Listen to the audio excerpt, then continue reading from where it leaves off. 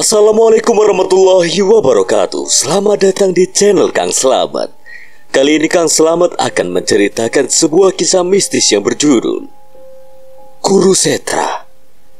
Cerita ini ditulis oleh Dioseta dan sebelum kita masuk ke ceritanya Buat kalian yang belum subscribe channel ini Tekan tombol subscribe-nya terlebih dahulu dan tekan tombol notifikasinya Agar kalian tidak ketinggalan cerita seram lainnya dari Kang Selamat Gak usah berlama-lama lagi, langsung saja kita masuk ke ceritanya. Guru Setra, setiap darah yang tertumpah di masa lalu berteriak untuk menuntut nyawa. Alam manusia kini dipertaruhkan. Di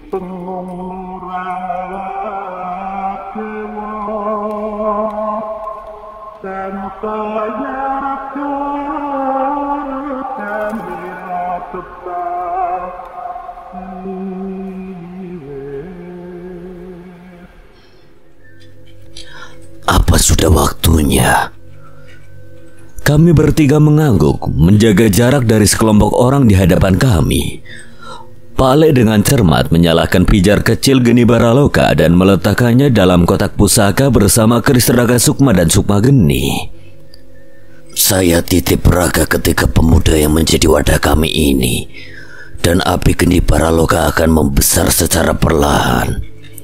Seharusnya api ini bisa membantu pemulihan yang mulia. Kami bahkan belum sempat berterima kasih. Tidak yang mulia. Kelahiran kami di masa depan adalah bukti perjuangan yang mulia melindungi leluhur kami. Sayangnya aku belum sempat bertemu dengan yang raja sebut dengan nama Baswara. Mungkin dia bakal cocok juga dengan Kliwon. Kliwon. Raja Indrajaya terlihat bingung namun belum sempat kami memberikan penjelasan. Tiba-tiba letusan gunung semakin besar dan roh kami melesat kembali ke tempat yang paling kami hindari. Jagat Segoro Demit. Kami berada di tempat yang sama saat kami berpindah ke zaman itu, dekat dengan letusan gunung yang mungkin ada hubungannya dengan perpindahan zaman kami. Tapi kali ini kami tidak kehilangan arah. Sebuah kereta kencana berhiaskan kain berwarna hijau melayang mendekat ke arah kami, seolah menyambut kedatangan kami dengan penuh keanggunan. Beli wajah membuka matanya dari meditasinya yang telah berlangsung berbulan-bulan. Suara lembut seorang balian membangunkan dari dunianya yang dalam. Sudah waktunya, Beli. Ucap sang balian tampaknya dititipkan untuk mengingatkannya pada saat ini. Balian itu menggeleng melihat sekitar tempat itu yang dipenuhi bangkai ular, anjing, dan kelelawar. Namun bukan itu yang membuat sang balian merasa cemas. Di sisi lain alam itu, balian itu menyadari sudah berapa banyak makhluk yang berusaha menyingkirkan beli wajah. Namun justru malah menjadi mangsa wujud raganda dari roh beli wajah. Saya titip pulau ini Pergilah teman-temanmu benar-benar membutuhkanmu. Pulau ini juga akan hancur bila kalian gagal. Beli wajah pun pamit dan menerima restu dari balian tersebut. Ia mengambil wujud ragandanya dan melayang melintasi Pulau Bali menuju sebuah tempat di pesisir Pulau Jawa. Dalam satu malam, ia tiba di lereng Gunung Merapi di sana. Sosok yang dikenalnya berdiri dengan penuh luka di antara batu-batu besar. Ia mengatur nafasnya dihadapkan pada pemandangan berbagai demit yang sudah tumbang di hadapannya. Sosok Kimaisa Ombo dan dua raksasa yang baru dilihat wujudnya berdiri di sisinya. Kau melakukan ini semua sendiri. Beli wajah kembali ke wujud manusianya menghampiri Mbah Jiwa namun Mbah Jiwa menggeleng. Sosok besar dari tanah ini membantuku dan tanpa mereka bertiga mungkin aku tidak akan bisa selamat. Sudah waktunya ya. Beli wajah mengangguk membawa beban takdir besar yang harus segera dihadapi oleh mereka. Pusat gempa terdeteksi berasal dari Laut Selatan Pulau Jawa. Warga diminta untuk berjaga-jaga akan datangnya gempa susulan yang berpotensi tsunami. Terdengar suara radio mengalun dari salah satu kapal pencari ikan yang melawan guncangan ombak di perairan Laut Selatan. Beberapa gempa telah mengguncang menyebabkan getaran yang terasa hingga ke pemukiman penduduk di sekitarnya. Meskipun warga pesisir merasa cemas akan dampaknya, kekhawatiran itu sedikit mereda saat mereka mengetahui pusat gempa berada jauh dari selatan Pulau Jawa. Namun tak demikian bagi sebagian orang yang peka terhadap petunjuk dari kejadian di Laut Selatan itu. Kita kembali ke darat, pelayaran kita tunda sampai laut benar-benar aman. Perintah seorang nahkoda kapal nelayan yang menyadari bahayanya tengah laut pada saat itu. Tapi kita baru nebar jala satu kali, Pak. Jangan pernah meremehkan laut. Lebih baik rugi solar dan waktu dibanding harus mati. Nahkoda itu menatap sesuatu yang berada jauh di depan matanya. Sebuah pulau. Sepertinya hanya ia seorang diri yang menyadari bahwa pulau itu tidak seharusnya berada di sana. Ia sadar sesuatu yang buruk akan datang dari pulau itu. Jangan ada yang membantah, kita kembali. Kalimat itu sudah cukup jelas dan mereka pun membatalkan pelayaran mereka dan kembali ke daratan. Saat pulau sudah terlihat, seorang anak buah kapal tertegun menatap sebuah batu karang. Ia menatap puncak batu itu dan menyaksikan ada sosok seorang pria berumur yang mengenakan baju hitam dan seorang pria yang mengenakan baju adat Bali yang menatap ke arah pulau jauh di tengah laut itu. Kenapa mas kok bengong? Itu ada orang di atas karang. Ngawur kamu, nggak ada perahu di sana. Lagian mana ada orang yang bisa naik ke karang tengah laut yang seruncing itu? Lah, itu lihat sen. Saat menoleh kembali, sosok kedua pria itu sudah menghilang dari puncak batu karang itu. Awak kapal itu pun bingung. Saat itu hanya ia melihat sisa percikan api di sana. Tadi ada di sana. Benar. Temannya itu hanya menggeleng dan meninggalkan awak kapal itu. Ia kecewa namun ia tidak ingin memikirkan apa yang ia lihat itu lebih lanjut. Walau sebenarnya tidak ada yang salah dengan penglihatannya. Mereka adalah beli wajah dan Bahjiwo. Gempa yang terjadi adalah sinyal untuk mereka bahwa Terahpaku Jagar sudah berhasil membangkitkan sang ratu dan bersiap menyatukan kekuatan mereka. Jadi ini pulau bagian dari Padang Kurusetra. Bagian paling terkutuk, tempat di mana jasad dari berbagai makhluk berkelimpangan. Kolam darah memerahkan tanahnya dan nyawa-nyawa dikutuk di dasarnya. Bajiwa menelan ludah membayangkan apa yang akan ia hadapi, tapi tidak ada pilihan untuk menyerah baginya. Dengan bantuan wujud raganda dari beli wajah, mereka pun melayang mencapai pantai pulau terkutuk itu. Mereka datang. Terdengar suara seorang pemuda yang segera menyadari kedatangan mereka. Terlihat sudah ada api unggun kecil yang menyala dan beberapa orang di sana. Guntur, dari mana kalian tahu kami akan mendarat di sisi pantai ini? Tanya beli wajah yang segera kembali ke wujud manusianya. Saat itu ia menolehkan wajahnya ke arah seorang nenek yang masih asik dengan tembayannya. Bosar! Bajiwo yang menyadari keberadaan Bosar dan Nyai Jambrong yang berada di tempat itu pun segera menghampiri mereka. Tunggu sebentar lagi Yuli. Masih ada yang akan datang. Bajiwo dan beli wajah pun mengerti mereka menyadari tabir gaib yang dipasang oleh Mbok Sar di sekitar mereka. Tak kusangka Nyai akan membawa sekutu sesakti ini. Arpi meneh Satu-satunya ahli cenayang yang sakti Yang ku kenal cuma nenek-nenek peot itu Nek aku peot gue ki nyai Wah, to yo, apa meneh? Wes tuwa isi lenceh. Apa? Mendengar perbincangan itu, Guntur segera menarik beli wajah untuk menjauh dari Nyai Jambrong dan Boksar. Sudah beli jangan deket-deket kalau mereka ngoceh. Bahayanya bisa kayak ribut sama wewe gombel. Beli wajah mengerti maksud Guntur saat mendengar perbincangan kedua nenek itu tidak kunjung selesai. Sementara itu Mbah Jiwo menyaksikan Dirga yang sedang melakukan tapa.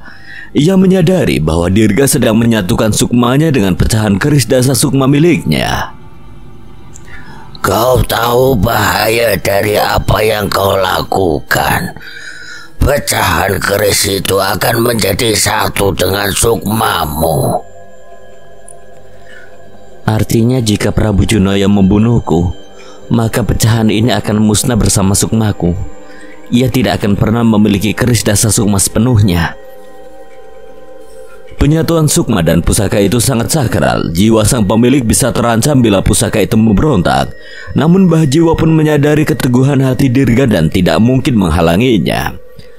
Perlahan terlihat kabut putih di sekitar mereka. Mereka pun menyadari bahwa hanya ada seseorang yang bisa datang dengan cara seperti itu. Mas Jagat?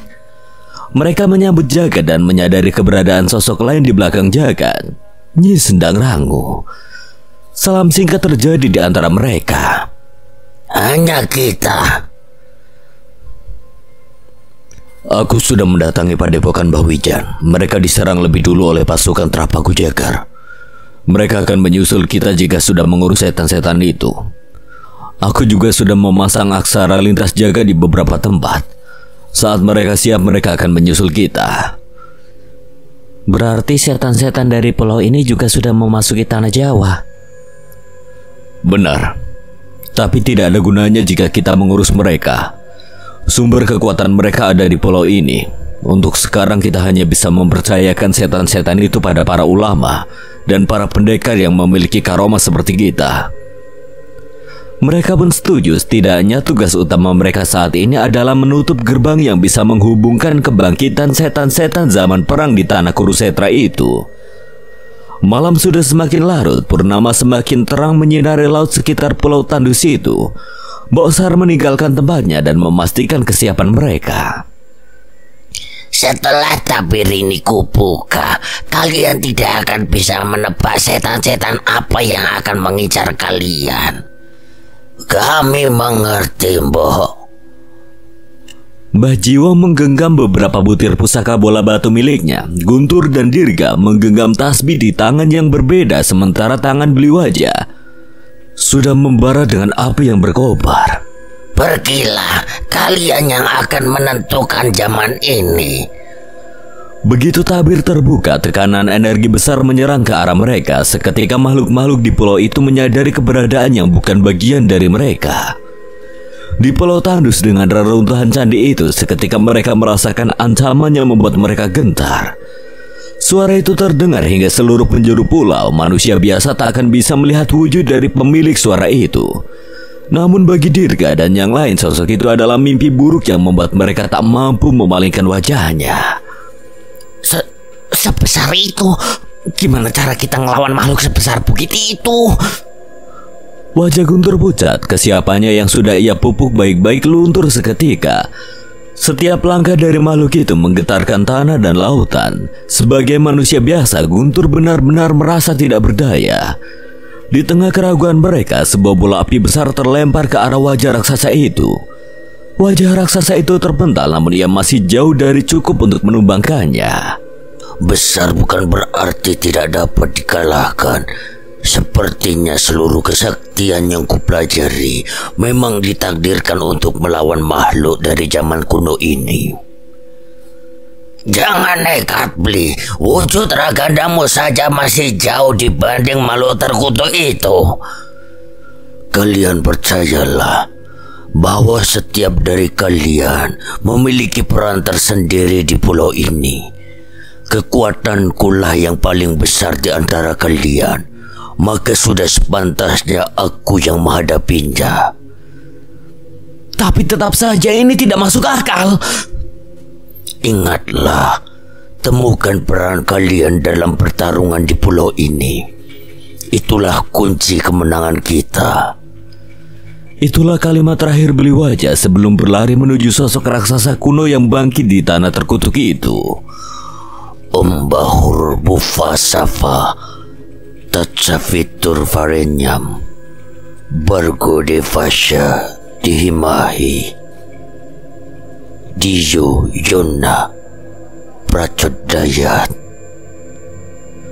Suara mantra doa itu terdengar menggema dari arah beli wajah. Mungkin bukan sebuah mantra atas ilmu yang sakti mandraguna. Namun suara doa itu seolah memberi ketenangan dan ketegasan atas apa yang ia hadapi di hadapannya itu. Raksasa kuno itu menghujamkan pukulannya ke arah beli wajah. Ia menghindari dengan wujud ragandanya dan segera kembali ke wujud manusianya ada alasan mengapa ia memaksa untuk terus bertarung dalam wujud manusia. Ilmu terkuat yang ia miliki harus ia rapalkan dalam wujud manusia. Sebuah kesaktian yang ia dapatkan setelah melalui berbagai kehidupan. Kembali sebab pukulan dari raksasa kuno itu mencoba menghantam beli wajah namun belum sempat itu terjadi. Sebuah lengan putih besar beradu dengan sosok raksasa itu dan membuat mereka berdua terpental. Kedua raksasa itu terjatuh namun dari jauh mata Dirga, Guntur, Mbah Jiwa dan yang lain terpana dengan apa yang mereka lihat. Sosok raksasa putih itu muncul dan bangkit dari tubuh beli wajah. Terlihat beli wajah begitu tersiksa menahan penggunaan ilmu itu. Namun dengan semua yang ia korbankan, harapan akan kemenangan mereka mulai muncul. Jangan sia-siakan perjuangan beli wajah. Kita selesaikan tugas kita. Di tengah pertarungan kedua raksasa itu, Dirga dan yang lainnya menerobos berbagai roh yang mulai bangkit untuk mengincar mereka. Mereka sudah pergi, kenapa kau masih di sini, Nyai?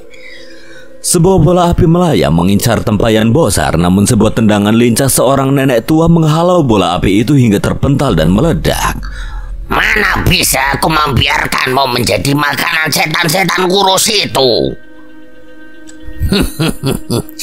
Apa aku boleh senang diperhatikan oleh nenek peot? Tapi muridmu akan menghadapi bahaya yang besar. Sebaiknya kau menyusul mereka. Jangan khawatirkan aku. Dasar nenek peot, sebaiknya kau jangan meremehkan murid-muridku.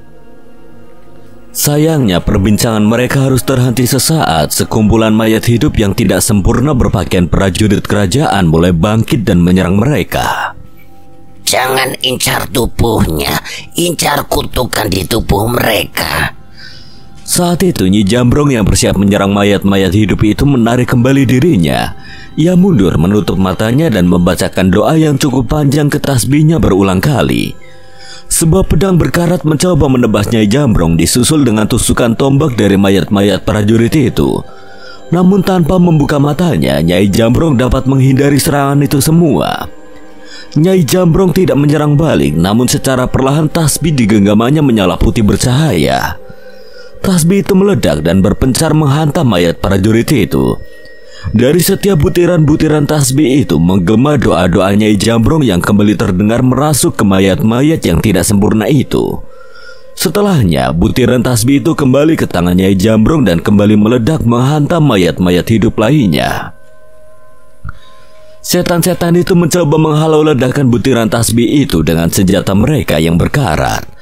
Namun setiap butiran tasbih itu selalu menemukan jalan untuk menggapai tubuh terkutuk itu.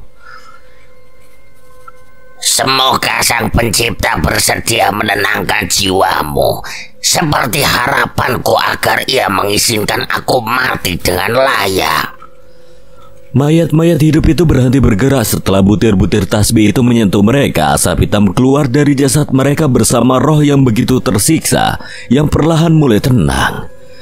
Nyai Jamrong mengumpulkan butiran tasbihnya kembali dan kembali membacakan doa. Di sisi lain, Bosar menatap Nyai Jamrong sambil sedikit tersenyum. Apa mesem-mesem? Tidak, Nyai. Kau beruntung menggunakan doa, sesuatu yang tidak pernah kau lafalkan satu kata pun saat dulu. Tujuanku sudah berubah, Sar. Dulu aku ingin jadi yang terkuat dan mendapatkan hidup abadi. Sedangkan sekarang aku hanya ingin melihat cucu dan muridku tumbuh dan aku bisa mati dalam pengampunan. Mata Boksar berkaca-kaca mendengar kata-kata itu. Ia tahu dengan jelas sebesar apa dosanya Jambrong di masa lalunya.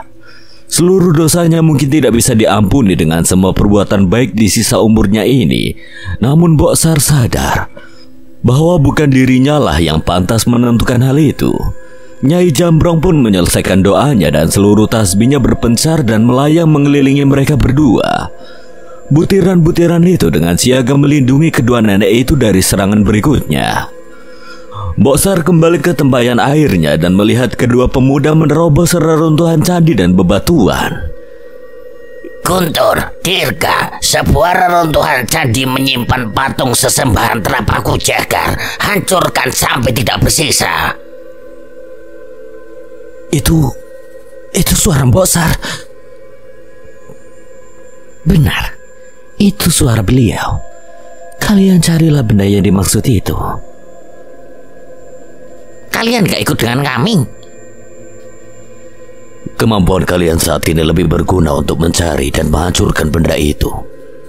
Saat ini tugas kami adalah membersihkan jalan kalian.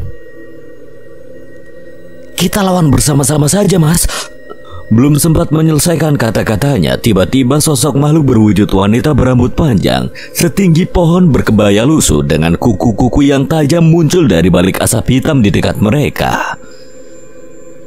I iya, kami saja yang nyari patung itu. Wow, dasar bocah! Sepertinya kau mendapatkan rekan yang cocok denganmu ya. Tetap Mas Jagat kok rekanku yang paling ganteng. Jagat hanya menggeleng mendengar jawaban itu dan mempersiapkan dirinya menghadapi sosok-sosok yang mulai muncul. Lawanmu bukan setan wanita itu jiwo. Tinggalkan jaga dan hadapi makhluk-makhluk masa lalu yang mulai bangkit. Suara Mbok Sar kembali memberikan petunjuk atas apa yang harus mereka lakukan. Mbah Jiwo mengerti namun ia merasa khawatir dengan jaga terlebih roh wanita itu tidak sendiri. Ia membangkitkan setan-setan berpakaian sinden dari tanah itu. Pergi Mbah Jiwo, percayakan mereka padaku. Takkan ku biarkan mereka menyentuh Dirga dan Guntur. Bajiwa mengerti situasi yang terjadi. Ia pun berpaling dan pergi ke sudut terdalam pulau dan menyaksikan sebuah punden yang menjadi tempat kebangkitan makhluk-makhluk mengerikan. Tepat saat Mbah Jiwa sampai ke tempat itu, seekor burung garuda raksasa berbulu hitam baru saja bangkit dari altar. Sebagian tubuhnya masih berupa tulang, namun mata merahnya menandakan kesaktiannya mulai pulih. Di sisinya terlihat anggota-anggota tubuh mayat-mayat hidup melayang berkumpul membentuk sebuah gumpalan yang melayang. Bajiwa, lihat itu. Di hutan belakang punden berundak itu tergeletak tumpukan tulang belulang dan bagian tubuh yang mulai pulih. Itu adalah tubuh busuk raksasa berpakaian kerajaan. Mereka akan membangkitkan itu semua. Perang di padang Kurusetra melibatkan banyak ras manusia, raksasa, dedemit, wanara hingga ras yang tidak dikenali.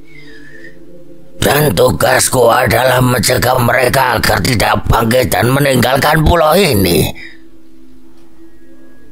Aku membutuhkan kekuatanmu lagi, Kimaisa Hombo. Sebuah butiran batu hitam dikeluarkan oleh Mbah Jiwa, sebuah mantra dibacakan dan sekali lagi, sosok yang selalu ada melindungi Mbah Jiwa kembali muncul. Dialah Kimaisa Ombo, sang penjaga lembah keramat, tapi kali ini ada yang berbeda dari makhluk itu.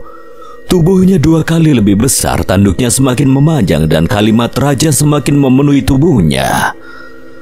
Kali ini kita akan bertarung bersama.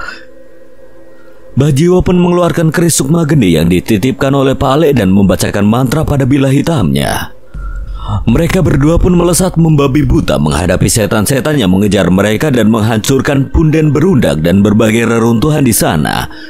Bajiwa bukan petarung yang handal, namun kali ini bila hitam keris Sukmageni melukiskan api hitam di udara dan membuat setan-setan yang mendekat terbakar dengan api yang tidak bisa dipadamkan itu. Siluman Garuda hitam itu pun ikut mengamuk dan menghembuskan angin yang membuat Bajiwa kehilangan keseimbangan. Ia pun memancarkan kekuatan hitam dan ingin segera menghabisi mereka berdua. Namun Kimaesa Ombo sudah siaga melindungi Bajiwo. Kedua makhluk itu berbenturan. Sosok besar Kimaesa Ombo beradu serangan dengan sosok Garuda raksasa yang tidak henti-hentinya mencoba mencabik-cabik Kimaesa Ombo. Kobaran api hitam menari-nari di sekitar pertarungan Bahjiwo sementara benturan besar terus terjadi antara pertarungan Kimaisa Ombo dengan siluman Garuda itu. Nyi Sendang Rangu pun melayang memastikan semua keadaan yang terjadi. Apa mereka sudah menempati bagiannya masing-masing? Iya, Mbosar. Tapi perbandingan kekuatan mereka terlalu jauh. Tidak ada yang salah dengan ucapannya Sendang Rangu walau beli wajah sudah memanggil raksasa putih buah kesaktiannya itu masih tidak mampu menumbangkan raksasa kuno itu. Entah sampai kapan ia bisa bertahan dengan ilmunya itu sementara Mas Jagat hanya mampu mengalihkan setan wanita itu ke berbagai alam untuk menghabisi mereka bukanlah perkara mudah. Ajian waktu geninya pun masih belum cukup untuk menghadapi mereka sementara Guntur dan Dirga masih bergelut dengan mayat hidup dan tipu muslihat yang menjebak mereka. Di sini peranmu Nyi Sendang Rangu. Hanya kau yang bisa membuat keajaiban di pulau ini.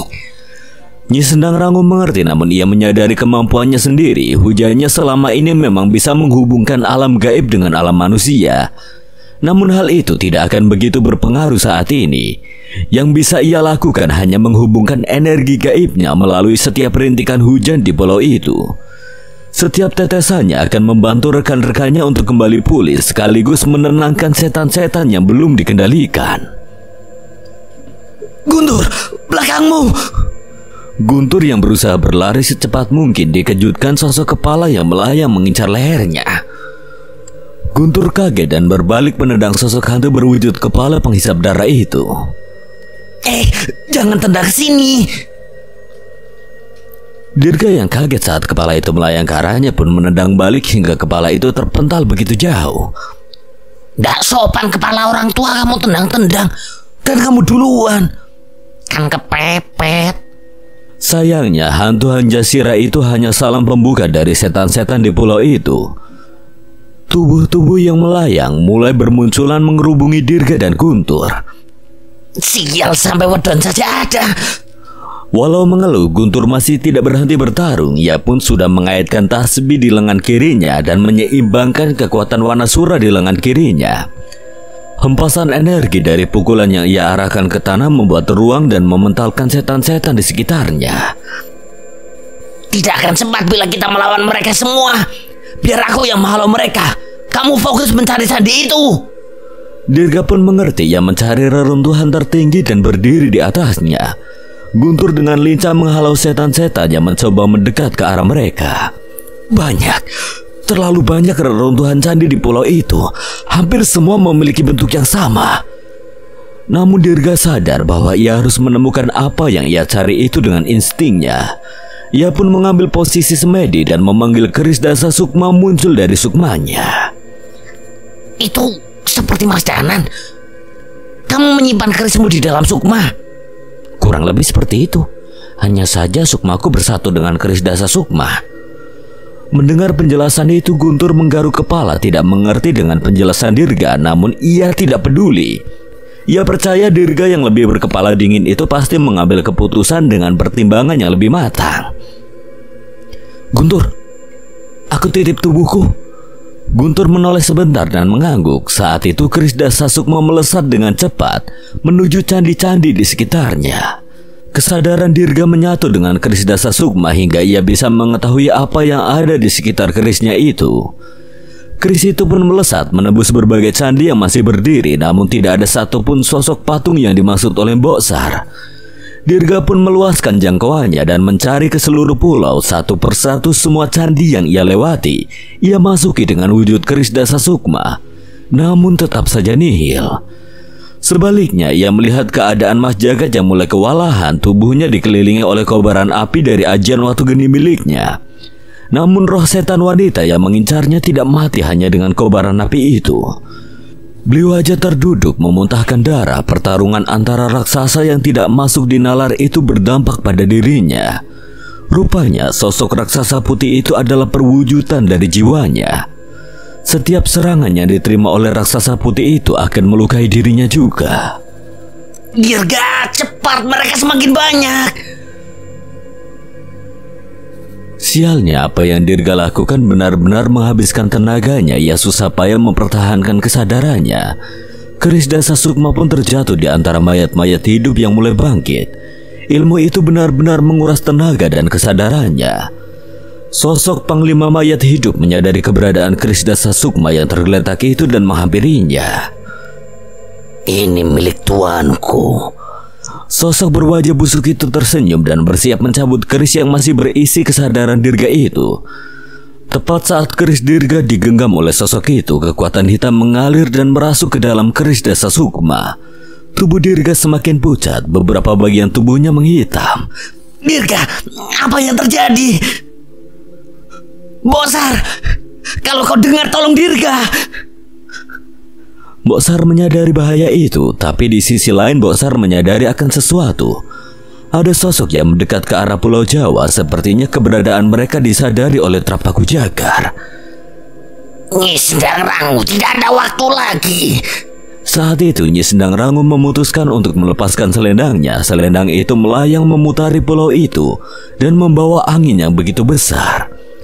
Ia menurunkan hujan deras sehingga badai besar menguasai pulau itu. Badai sedang menyondro. Badai ini hanya bisa bertahan sesaat. Selesaikan semuanya. Secara tiba-tiba beli wajah merasakan kekuatannya mulai pulih dan energi besar mengalir ke dirinya. I, ini Beli wajah menyadari bahwa seorang Nyi Sendang Rangu pun berkorban di pertarungan ini. Seketika api hitam menyambar lengan Panglima Mayat Hidup yang menggenggam keris dasar Sukma Dirga. Tangan itu terbakar dan keris Dirga terjatuh. Kau tidak pantas menyentuh pusaka itu.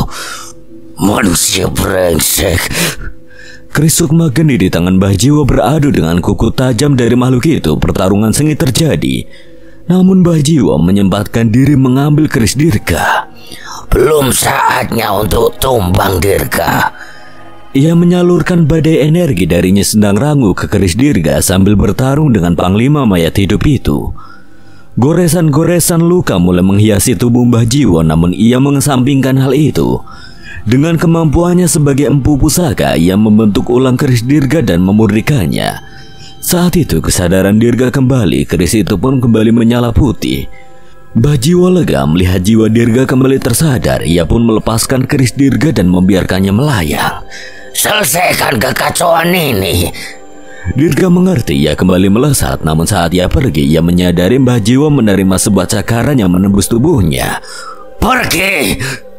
Dirga cemas namun ia tidak ingin menyia-nyiakan pengorbanan Mbah Jiwo. Mengetahui keris dasa Sukma terbang menjauh. Panglima mayat hidup itu berpaling dan mengejar keris Dirga namun sebelum semakin jauh. Mbah Jiwo membaca sebuah mantra dengan keris Sukma geni di hadapannya. Hanguslah hingga tidak bersisa. Seketika api hitam itu membakar tubuh Panglima mayat hidup itu. Ah, apa ini? Dari mana datangnya api ini? Panas! Padamkan! Padamkan! Tubuhnya hangus dan terus terbakar hingga ia tidak mampu lagi bergerak dan menjadi abu. Mbah Jiwo tidak mampu lagi berdiri melihat keris dirga melayang jauh. Ia pun mulai tenang sementara itu sosok Kimaisa Ombo mendekat ke arahnya dengan kepala sosok Garuda yang tergigit di mulutnya. Ia pun berdiri melindungi Mbah Jiwo yang hampir tidak berdaya itu. Kau berhasil Kimaisa Ombo Tapi tugas kita masih jauh dari kata selesai Di sisi lain pulau, jagat yang hampir putus asa mulai merasakan tenaga yang melimpah mengalir dari badai yang membasahi tubuhnya.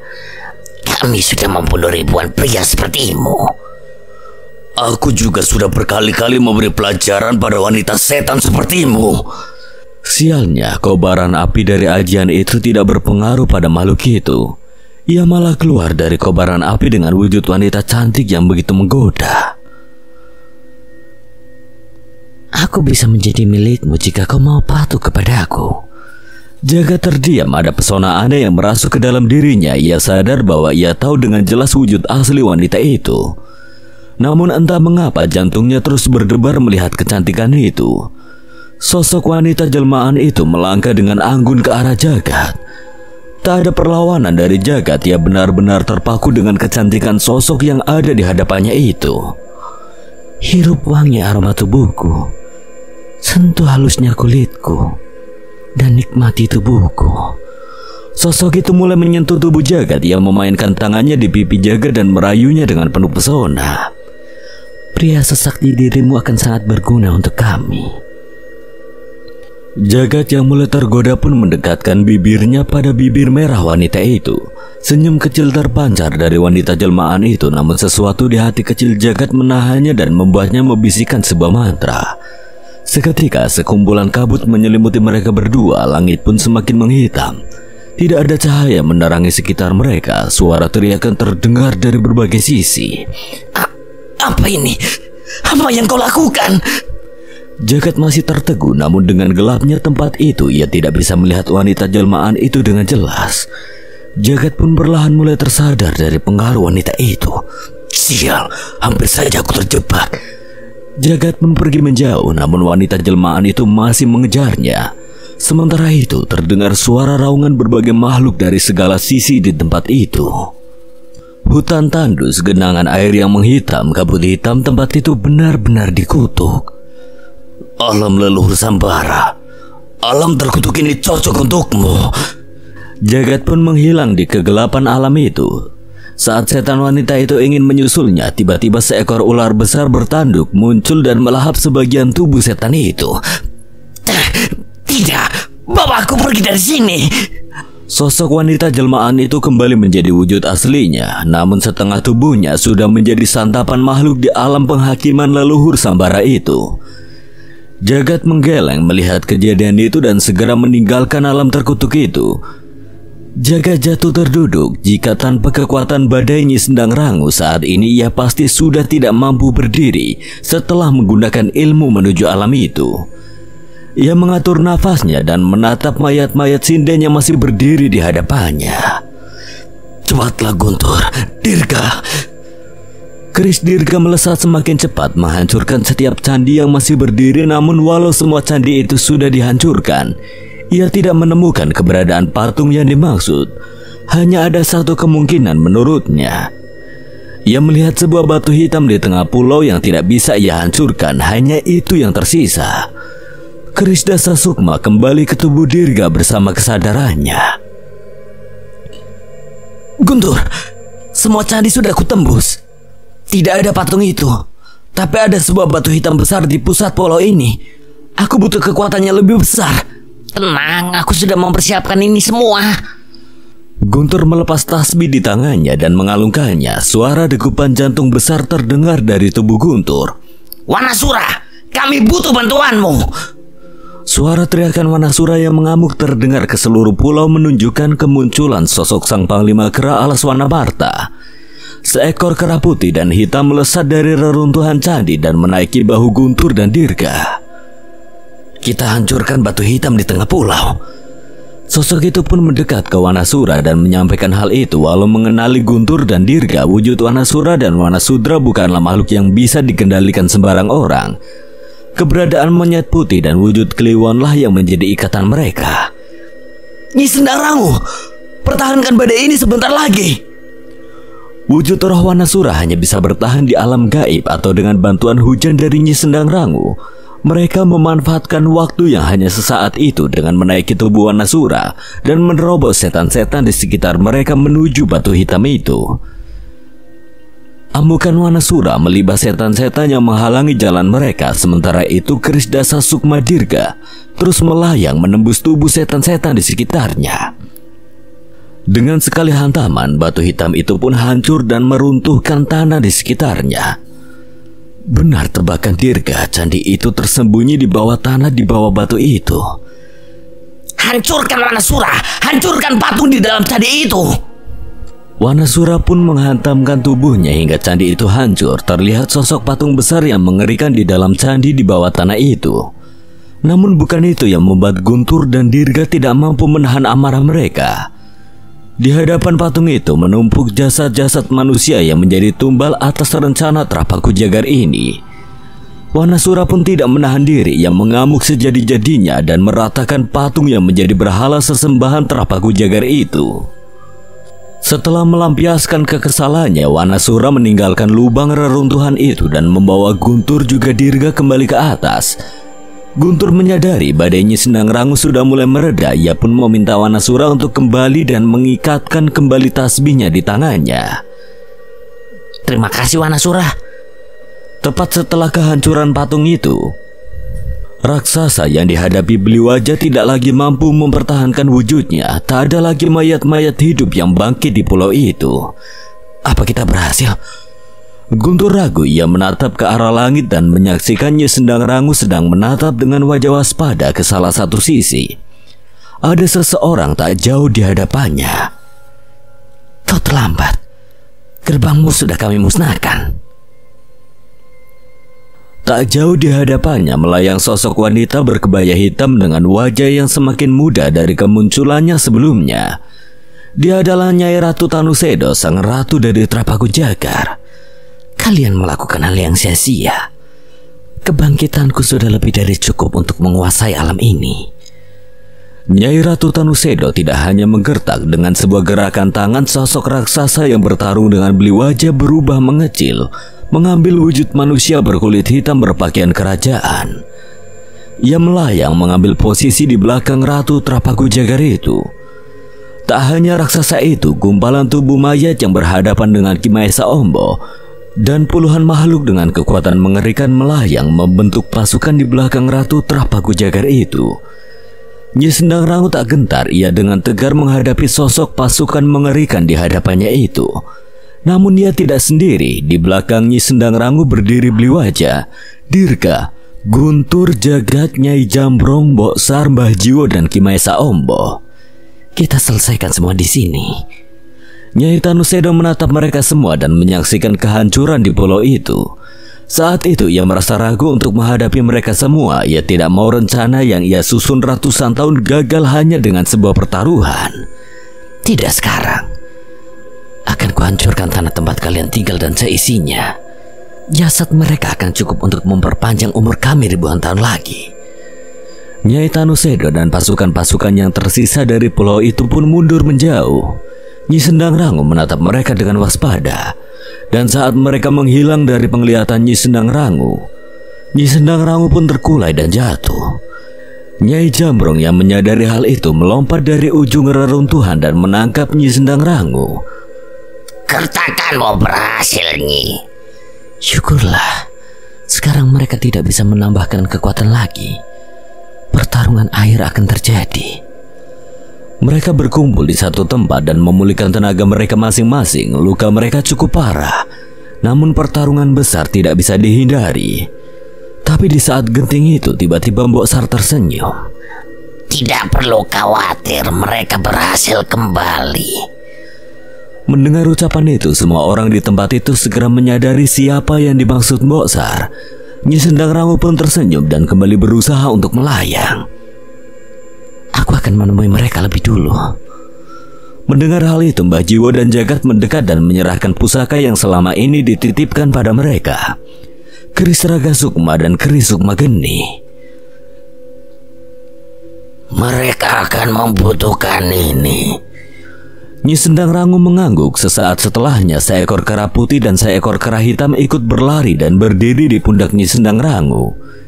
Ia pun segera melesat menuju arah ketiga pendekar yang akan menentukan akhir perang gaib ini. Di sebuah gua lereng gunung, seorang pemuda duduk seorang diri di gua yang dingin menanti kedatangan seseorang. Dia Cahyo yang beberapa saat lalu berhasil kembali ke tubuhnya setelah perjalanan tak masuk akal yang mereka alami. Dugaannya tepat sehari setelah ia mendapatkan kesadarannya, sosok pria bertopeng itu datang ke tempat persembunyiannya. Jadi kalian berhasil kembali dan teman-temanmu meninggalkanmu. Tentu saja. Aku yang memutuskan untuk tetap di sini untuk menemuimu. Mereka menitipkan ucapan terima kasih. Jangan besar kepala. Semua ini demi tujuanku. Mengetahui Danan, Cahyo dan Pak Le sudah sadar tidak ada alasan lagi untuk pria bertopeng itu berada di gua itu. Ia pun berpaling untuk pergi. Tunggu dulu. Ada urusan yang harus kita selesaikan. Pria bertopeng itu pun berhenti dan menggenggam wayang wanara di punggungnya. Kau ingin bertarung di sini? Bukan. Aku baru sadar akan sesuatu. Mengetahui Cahyo tidak ada niat bertarung, pria bertopeng itu pun melepaskan kembali wayangnya dan berbalik. Aku yakin tidak ada satu pun warga desaku yang selamat. Pak Lek sudah memeriksa berkali-kali, dan aku percaya dengan ucapannya.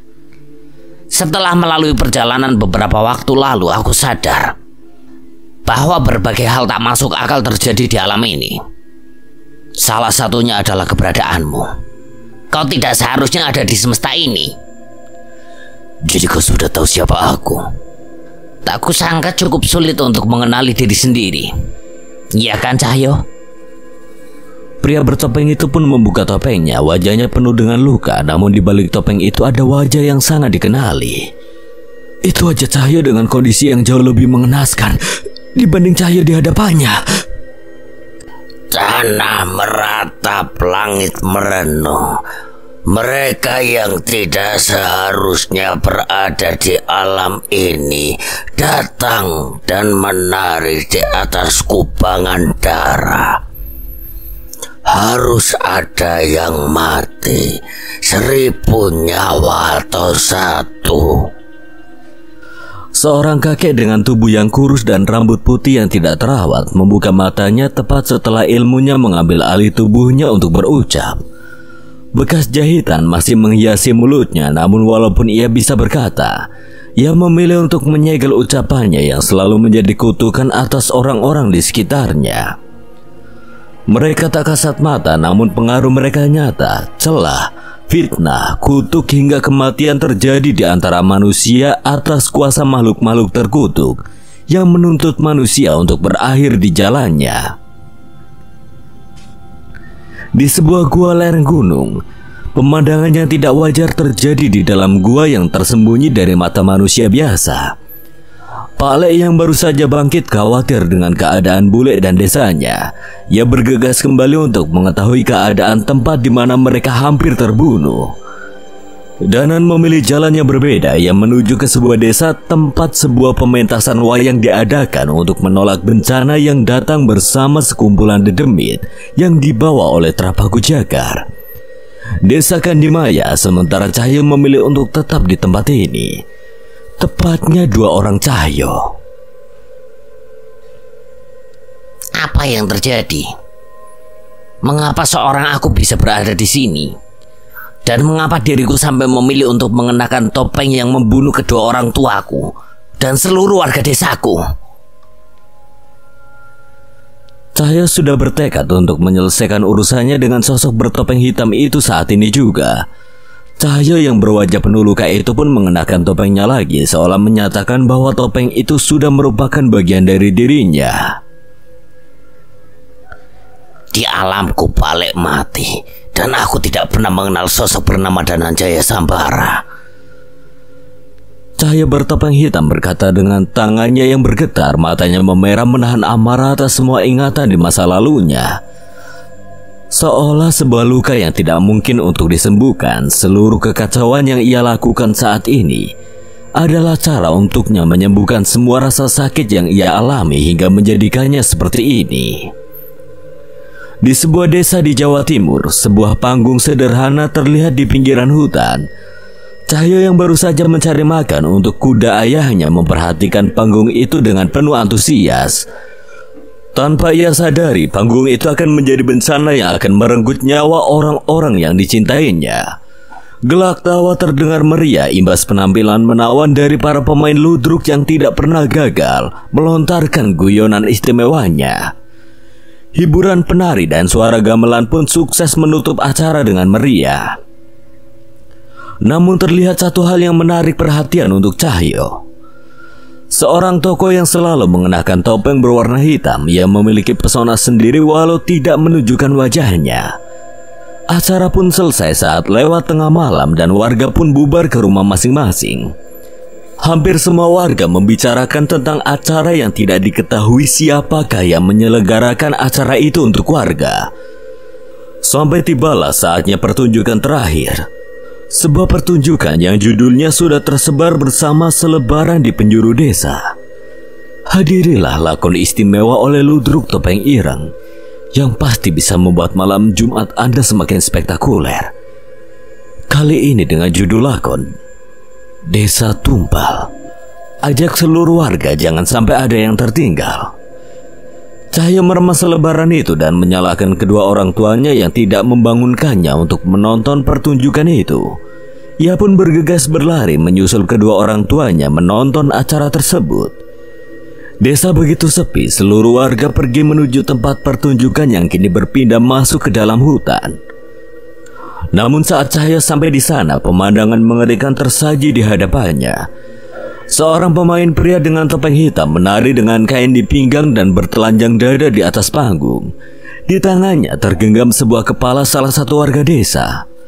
Cahaya menoleh ke arah penonton, terlihat sebagian warga duduk dengan kepala yang sudah tidak menyatu dengan tubuhnya lagi. Sisanya seolah kehilangan kesadaran terpaku pada tarian si pemain bertopeng hitam itu. Dari balik panggung muncul seorang pemain membawa parang menghampiri pemuda desa yang masih kehilangan kesadaran. Pemain itu menjambak rambutnya dan menebaskan parang ke lehernya hingga terpisah dari badannya.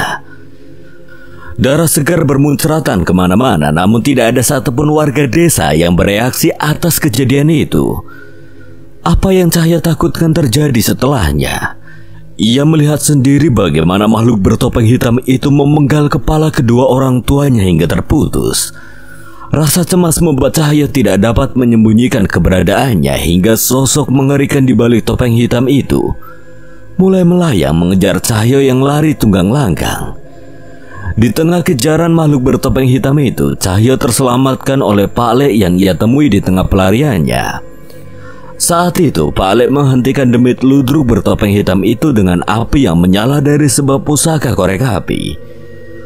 Pak Le terus membaca doa dan ayat suci yang menyiksa makhluk mengerikan di hadapan mereka, tapi di tengah perseteruan itu, tiba-tiba sebuah benda melayang dari kejauhan, sebuah keris. Tanpa sempat bereaksi, tiba-tiba keris itu menancap ke jantung Pale, sebuah keris dengan bila hitam yang seolah memiliki kesadaran. Kekuatan yang luar biasa mengalir dari bilah keris itu hingga membuat sosok ludruk bertopeng hitam itu memutuskan untuk mundur. Pale dengan sekuat tenaga berusaha mempertahankan kesadarannya namun keris itu terus memancarkan kekuatan hitamnya. Seolah menembus jantung Pale saja masih tidak cukup. Bocah, pergi dari sini. Bawa korek pusaka ini. Keris ini berupaya menjadikan jasadku sebagai tuannya. Cahyo bingung dengan apa yang terjadi, namun dari perkataan Pale, ia mengetahui bahwa keris itu sedang mencari tuan. Dan tuannya haruslah sesosok mayat yang memilih Pale untuk menjadi inangnya. Tapi Pale sekuat tenaga menolak di ambang kematiannya. Ia mengeluarkan keris Sukma Gendi dari tas kainnya dan membenturkan kekuatan antara dua pusaka itu. Keris yang membawa kematian dan keris yang membawa pemulihan. Kedua keris itu pun kehilangan kesaktiannya. Namun saat itu nyawa Pale tidak terselamatkan. Cahaya tidak tahu harus berbuat apa pada saat itu. Bahkan ia belum sempat mengenal Pale yang menolong nyawanya itu. Begitu banyak kematian terjadi di depan matanya saat itu. Rasa takut akan menjadi tertuduh atas kematian Pak Ale pun membuat ia memilih melarikan diri dengan membawa semua pusaka yang tertancap di tubuh Pak Ale itu. Sebuah perjalanan berbeda pun terjadi pada sosok cahaya yang berasal dari semesta yang berbeda itu. Dendam ini akan kubalaskan. Kematian yang kau berikan pada orang tua dan warga desaku akan kubalaskan berkali-kali lipat. Dendam yang dipupuk oleh cahaya saat itu dimanfaatkan oleh keris keramat yang membunuh Pale. Ia telah kehilangan kesaktiannya namun ia masih memiliki kesadaran. Keris itu berjanji untuk membantu membalaskan dendam Cahyo sebagai gantinya ia harus membangkitkan keris itu lagi. Sebuah kesepakatan terjadi di antara Cahyo dan keris terkutuk itu. Sebuah keris yang terlihat berkarat tak terawat namun mampu membawa bencana. Satu persatu tempat cahaya datangi untuk mengumpulkan puing-puing kekuatan. Satu persatu guru cahaya sambangi dengan arahan dari keris itu. Namun persyaratan pelik sudah terjadi di antara keris itu dan cahaya. Cahaya mendapatkan kesaktian dan keris itu mendapatkan nyawa. Setelah berhasil menguasai kesaktian sang guru, Cahyo harus membunuh setiap gurunya sebagai syarat untuk membangkitkan keris itu kembali. Setiap perjalanan membuat Cahyo mulai kehilangan rasa kemanusiaannya.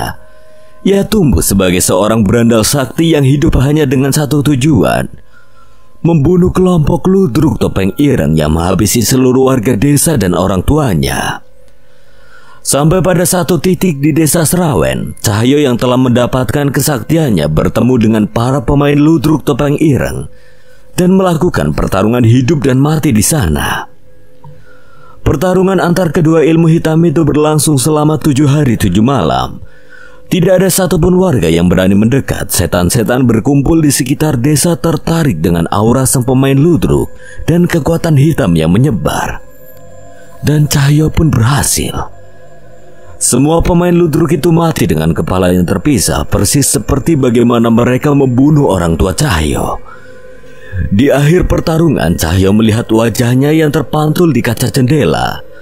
Di hadapannya bukan lagi wajah seorang anak laki-laki yang ceria yang mensyukuri hidupnya, melainkan wajah bengis seorang pria yang dipenuhi dengan dendam dan cipratan darah. Cahyo pun memutuskan untuk mengambil topeng hitam sang ludruk yang telah pecah itu dan mengenakannya. Hal itu ia lakukan untuk menunjukkan kemenangannya atas sang pemain ludruk, sekaligus untuk menutupi wajahnya yang sudah ia anggap bukan dirinya lagi.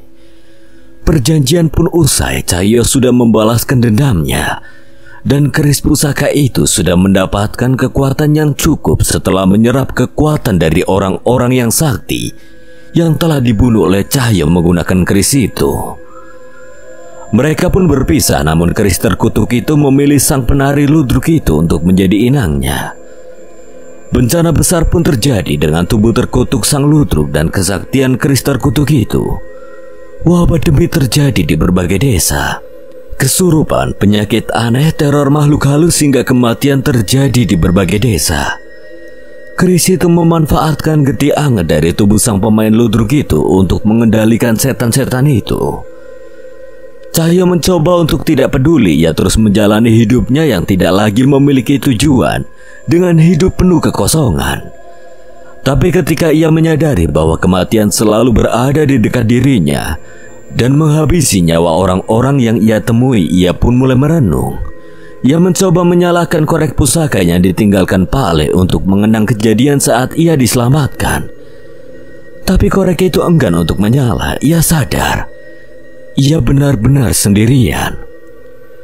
Satu ketika Cahyo berdiri di antara tumpukan mayat yang mati karena ulah keris yang ia bangkitkan kembali.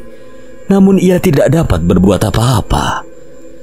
Dialah yang membuat semua bencana ini terjadi ia tidak mungkin menghentikannya karena setiap kesaktian yang ia miliki juga dimiliki oleh Chris itu.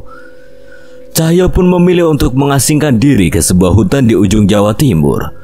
Hutan keramat yang sering dibicarakan oleh warga desanya pada saat ia kecil. Ia yang sudah tidak memiliki tujuan hidup lagi memutuskan untuk mengakhiri sisa hidupnya dengan bersemedi dan menutup mata atas semua bencana yang juga terjadi karena ulahnya. Setelah bertahun-tahun menghabiskan waktu di hutan itu, sebuah keanehan terjadi. Cahyo tersadar di tempat yang berbeda. Ia tidak merasakan kekuatan-kekuatan dari bencana yang disebabkan oleh keris itu. Cahyo memiliki harapan dan segera meninggalkan hutan. Benar saja keberadaan keris itu tidak kembali terasa. Ia pun mulai mendapatkan harapan dan meninggalkan hutan itu. Ia melakukan perjalanan untuk memastikannya. Tapi sebelum Cahyo merasa lega, ia melihat dua orang pemuda tengah melintas menaiki sebuah motor Vespa. Ia bisa mengenali bahwa salah satu pemuda yang sedang menyetir memiliki wajah dan aura yang sama persis dengan dirinya. Ia pun sadar bahwa semedinya telah membawa dirinya ke dunia yang berbeda. Dunia di mana dirinya memilih jalan yang benar. Kali ini, tangan Cahyo yang bergetar mendengar kisah dari sosok Cahyo yang bertopeng hitam itu. Ia benar-benar membayangkan ternyata begitu mengerikannya apa yang terjadi ketika ia salah memilih jalan untuk hidupnya. Jadi sekarang apa tujuanmu Cahyo? Aku harus mengumpulkan kekuatan, kesaktian dan pusaka tersakti yang pernah ada. Setelah itu aku akan kembali ke duniaku dan menghabisi keris itu. Tak akan kubiarkan kau menghalanginya. Aku sudah membuang jauh-jauh nama Cahyo. Aku adalah Bara. Cahyo menghela nafas mendengar ucapan dari sosok dirinya yang menyebut dirinya Bara itu. Ia pun berdiri dari tempatnya dan berjalan menghampiri Bara. Kau salah. Yang kau butuhkan bukan kesaktian ataupun pusaka. Yang kau butuhkan hanyalah teman. Cahyo berjalan meninggalkan gua itu untuk menyusul Dana dan Pale. Ia meninggalkan seorang pemuda yang merupakan dirinya dari semesta yang berbeda dan dengan takdir yang berbeda. Namun Cahyo yakin bahwa pertemuan mereka adalah cara dari sang pencipta untuk memberikan takdir terbaik bagi umatnya. Di desa Pale, sudah puluhan hari kabut laut mengelilingi desa setiap malam. Kabut yang membawa aroma laut itu terlalu aneh untuk berada di sebuah desa yang sama sekali tidak berbatasan dengan laut. Namun selama masih ada kabut itu, desa ini masih jauh dari kata aman. Seorang perempuan berlari menembus kabut mencoba memasuki desa namun ia tidak berlari tanpa alasan. Di belakangnya makhluk-makhluk yang tidak ia kenali terus memantaunya dan menunggu ia lengah. Tak ada gunanya berlari. Ayah dan teman-teman ayahmu telah mati di tangan kanjeng ratu. Suara itu terdengar namun ia memilih untuk mengacukan suara itu dan terus berlari. Sayangnya sebelum sempat menemukan tempat yang ia cari, ia terjatuh.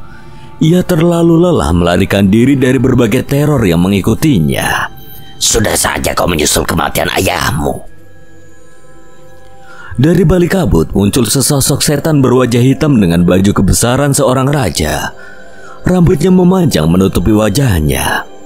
Sosok prajurit yang baru saja bangkit dari kematian mengikutinya dari belakang. Perempuan itu ketakutan, nafasnya telah habis hingga tidak mampu memaksakan dirinya untuk berdiri. Maaf pak, Ranaya tidak mampu membalaskan dendam bapak. Melihat keberadaan seorang perawannya tidak berdaya itu, para prajurit mayat hidup itu pun tidak melewatkan kesempatan untuk memangsanya. Tapi sebelum itu terjadi, tiba-tiba Ranaya berdiri dengan raut wajah yang aneh. Tidak, ia tidak hanya berdiri, ia melayang seperti kerasukan sosok yang mengerikan. Aku benci makhluk-makhluk yang menodai dan menyiksa seorang perempuan. Suara itu terdengar dari sosok yang merasuki Ranaya. Bersamaan dengan itu mayat-mayat yang telah kembali hidup itu tiba-tiba merasakan kesakitan hingga tidak ada satupun dari mereka yang sanggup untuk melangkah. Kala Tuo, sosok setan yang berwajah hitam dengan baju kebesaran seorang raja itu pun memerintahkan pengikutnya untuk menyingkir dan memberi ruang untuknya maju ke depan. Jadi kau alasan mengapa anak buahku tidak ada yang pernah kembali dari desa ini?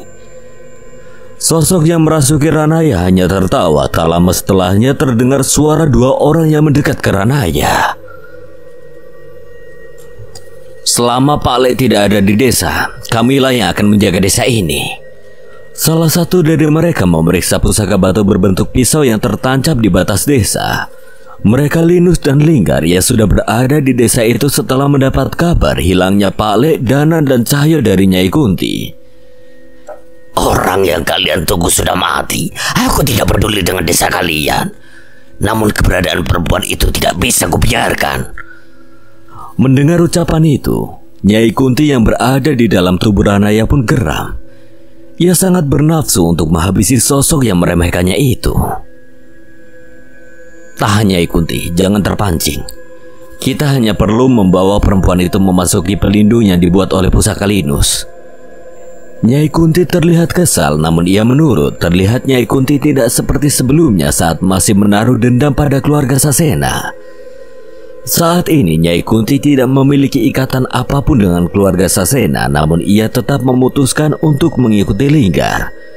Nyai Kunti merasakan kebajikan dalam diri Linggar yang membuatnya lebih tenang dibandingkan harus bergentayangan. Mereka pun memutuskan untuk tidak terprovokasi dan kembali ke dalam pelindung yang dibuat oleh pusaka Linus. Pusaka itu membuat pagar gaib seperti yang pernah ia lakukan saat menyegel alas wetan. Linggar dan Linus membawa Ranaya ke rumah bule setelah Nyai Kunti meninggalkan tubuhnya.